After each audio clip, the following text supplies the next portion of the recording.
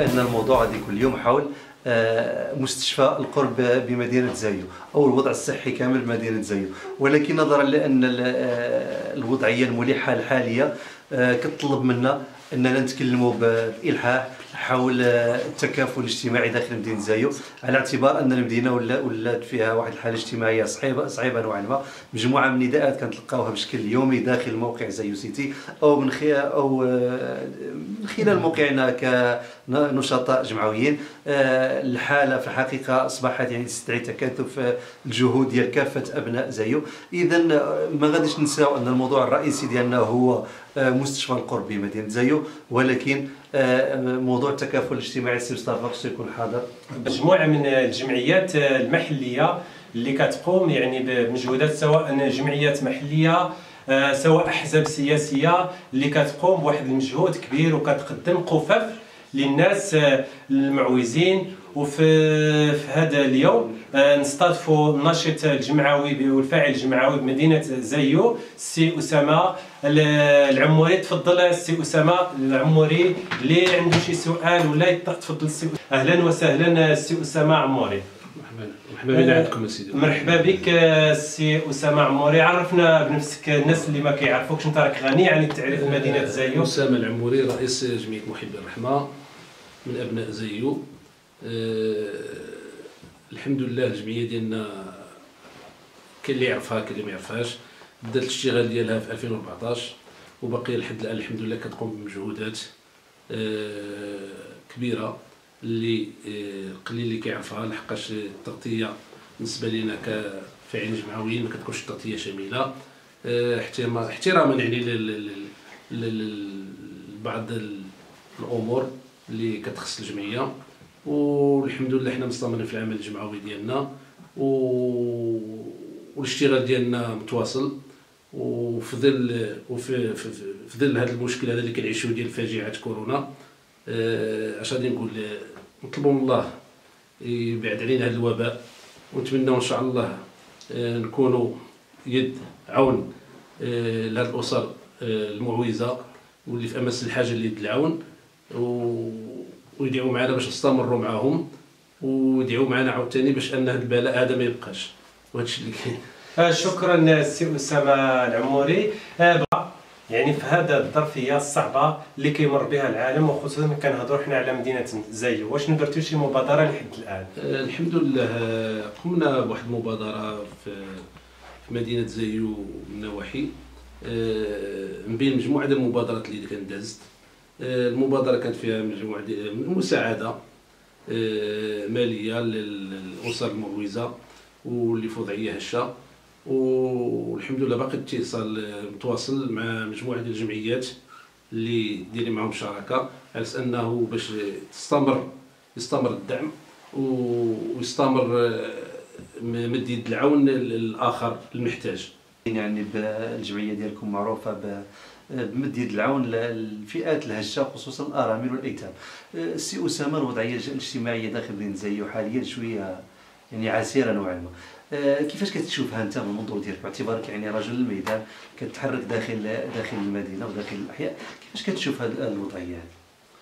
آه، بالنسبة لي حاليا يعني الوضعية آه، في خضم هاد كما ديالنا وفي يعني في مد يد العون آه، بالنسبة للفئة ديال الأرامل آه، ولكن في هذه الظرفية هذه ارتئينا أننا نقدموا حتى يد العون حتى للفئة المعوزه والمحتاجين لحقاش كما كنقولوا آه، مدينة زايو معروفة بمناطق آه، آه، اللي كت تحيط بها مناطق هشة آه، كتعاني الساكنة ديالها كيعانيو وفي هذه الفاجعة هذه تزادت المعاناة زادت المعاناة في 90% على ما اعتقد وعلى ما بان لي بالزيارة اللي قمنا بها البارح في مجموعة ديال الأحياء لقينا مجموعة ديال الإخوان كيعانوا صراحة. كانوا المناو- المناومين اللي كيشتغلوا في, في الفلاحة اللي كيشتغلوا في, في, في كما نقولوا حنا أصحاب الموقف ساكن كلشي حابس كلشي واقف. وكيستنى الرحمة ديال الله سبحانه وتعالى.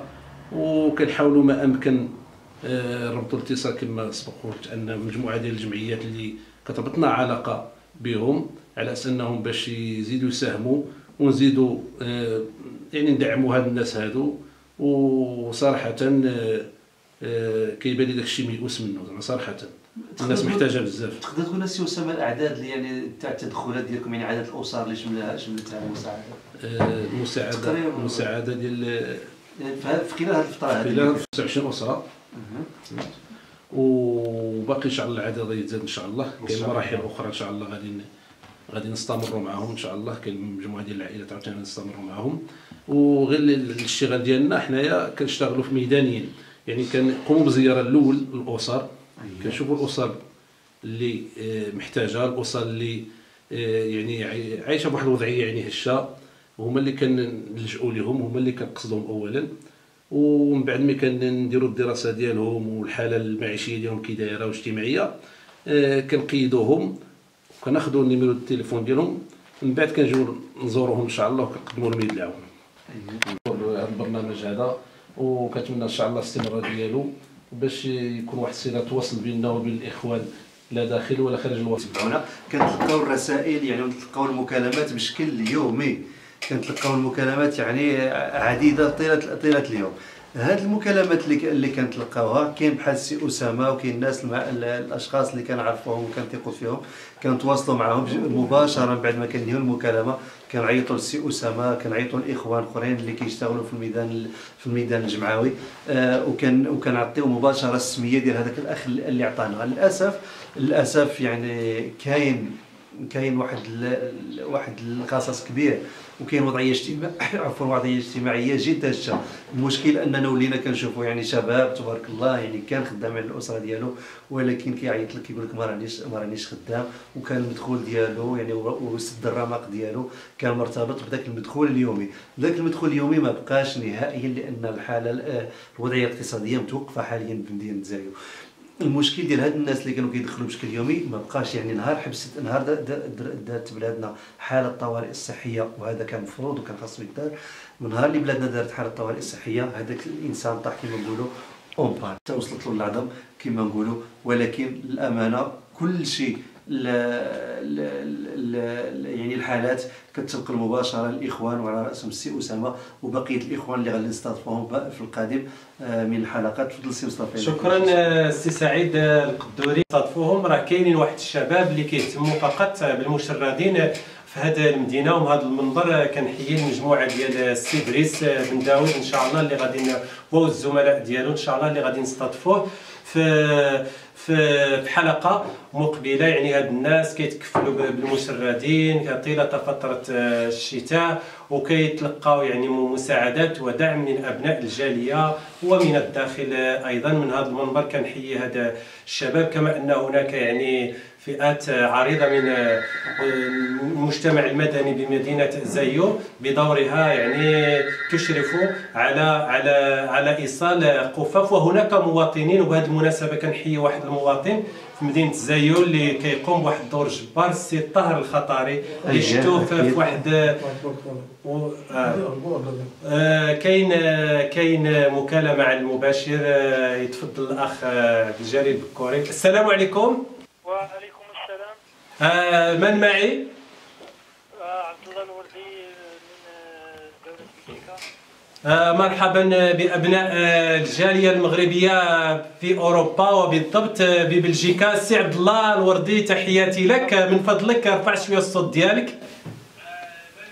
حفظكم الله آه، في ظل المناقشة تاع الوضع الوضع الاجتماعي تاع الوضع آه، تاع الساكنة.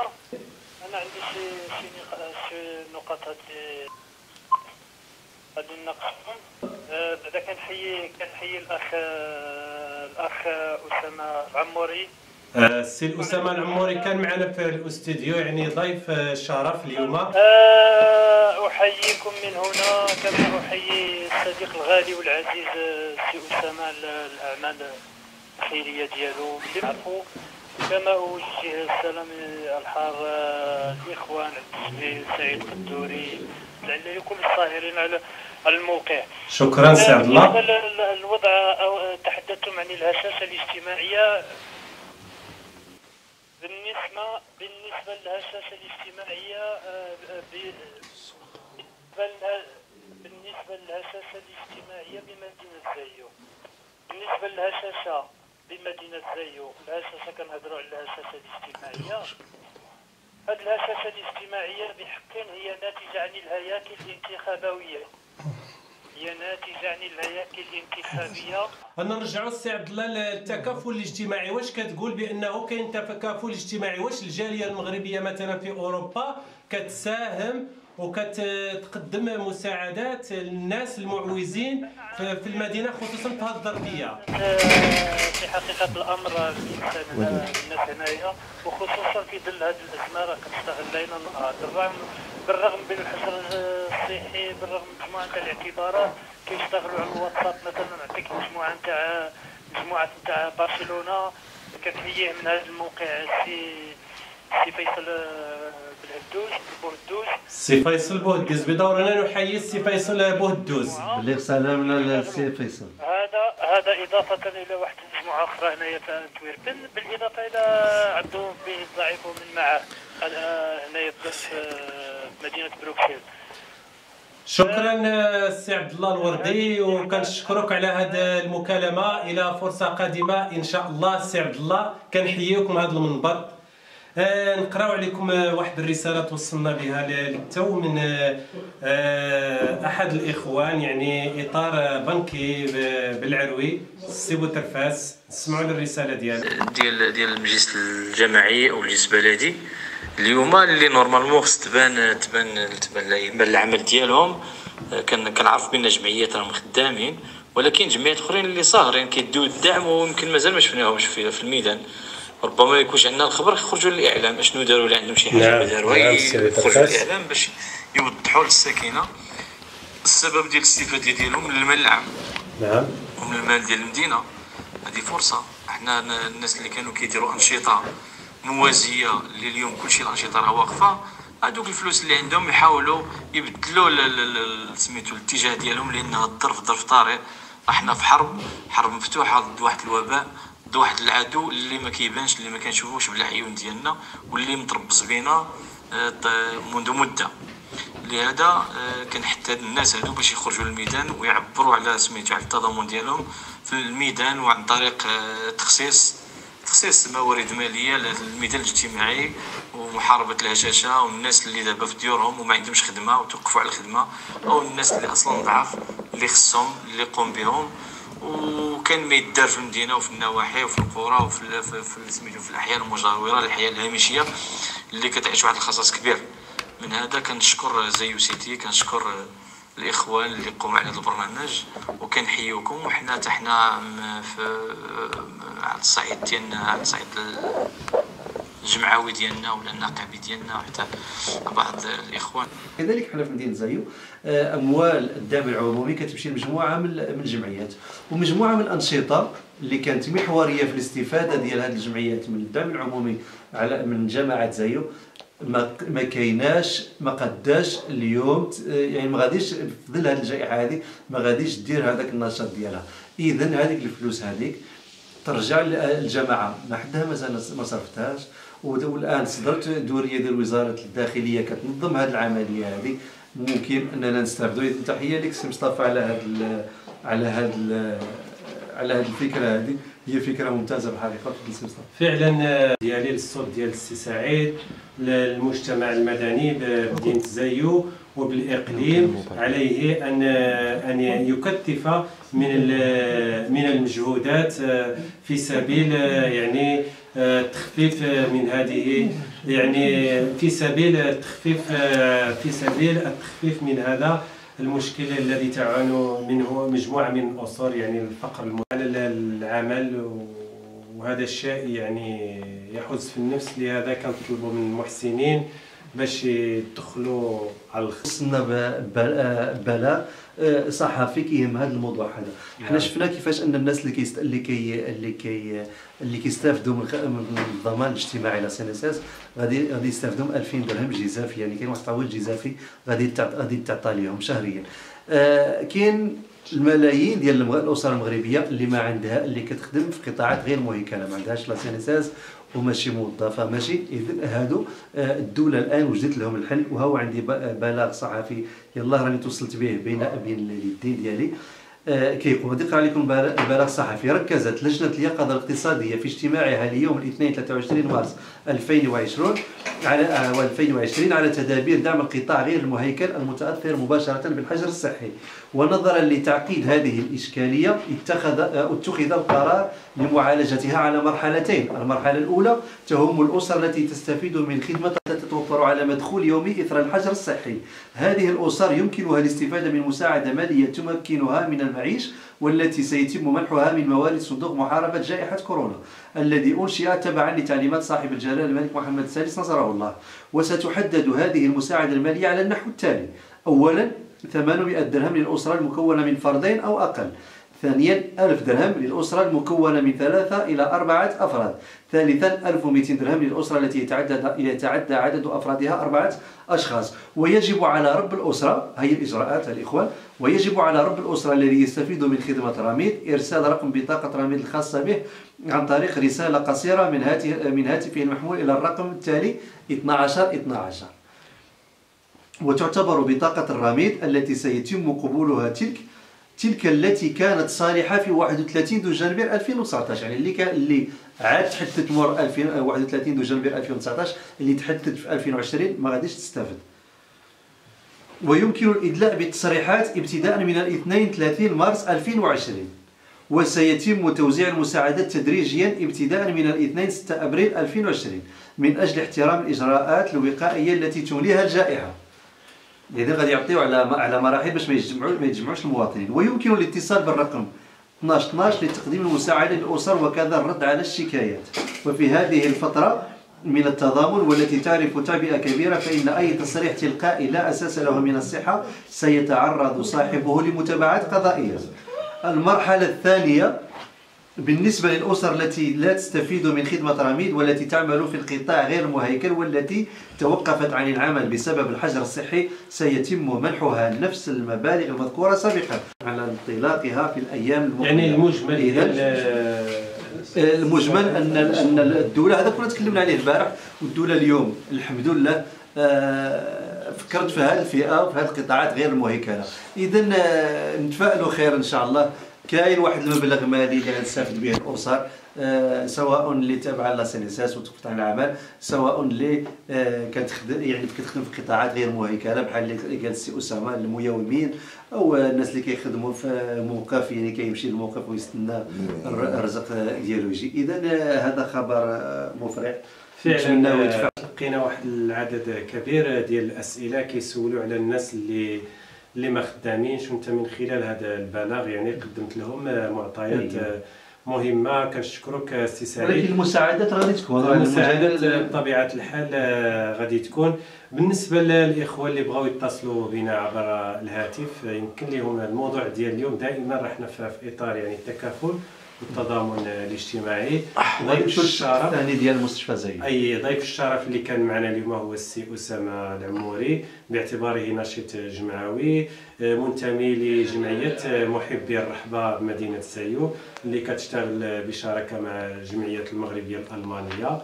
وبه- وبهذا المنبر كنحيي المؤسسة الألمانية على التركيز ديالها على مدينة زايو التدخلات ديالها اللي كانت مهمة في أكثر من مناسبة سواء بدوار م- ولاد مالك بضواحي ولا زايو يعني بولاد ستوت أو بمدينة آه، زايو آه، اللي بغى يتصل بنا مرحبا يعني وهو رقم كبير والاعتقالات وصلت لحد الآن ل 25 آه، اعتقال. يعني من هذا المنبر كندعو للشباب والمواطنين إلى الالتزام في واش بيوتهم مصطفى الا سمحت لي فيها وعدم عدد المغامرة. تقدموا الوكيل أمام أنظار وكيل المالك الساكنة آه، مرة أخرى وطالبت باش باش آه، باش يعني باش يعني يعني ت- تواصل الأعمال ويتوجد في أقرب وقت.